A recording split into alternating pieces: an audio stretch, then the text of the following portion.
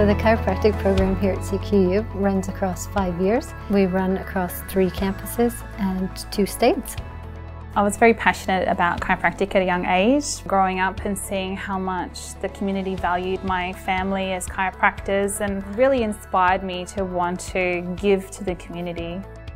Our students have a flexible learning environment, which means that they come to campus for all of the practical and skills classes, but when it comes to the lectures, they have the luxury of attending those online and in their own time. As a mature student with five kids and working two jobs, being able to study remotely and by distance was of great value.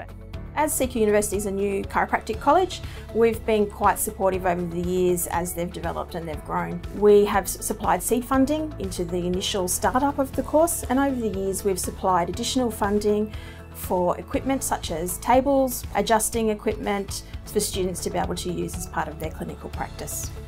I feel that if you are presented with the opportunity to join an association that is going to be there to guide you and create networks for you so that you can find like-minded people that you want to be with, that is key to chiropractic because we are one big family and the ACA has been really wonderful as a medium of connecting people together.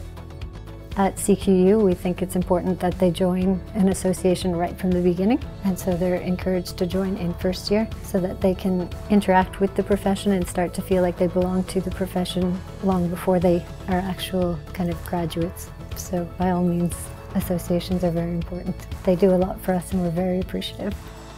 I think that we're very fortunate to have a good relationship with CQ University.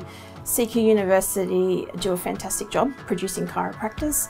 They're a growing course and they've been very, very open to having the association come in. They've been very thankful for our support and we're just thankful that we actually have a course in Queensland. We're thankful that we have the opportunity to interact with the students because the students really are the future of the profession.